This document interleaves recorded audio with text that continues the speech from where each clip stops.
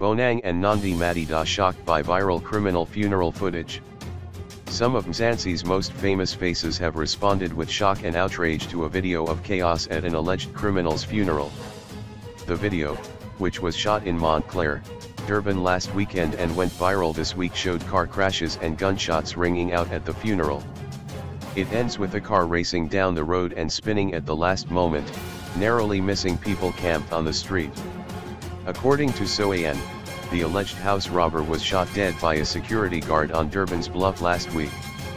The video was shared by DJ Frankie and was soon filled with reaction from the likes of Bonang, DJ Speedsta, Tol Smo, Morena Morena the Squire Sifatsa and Nandi Madida.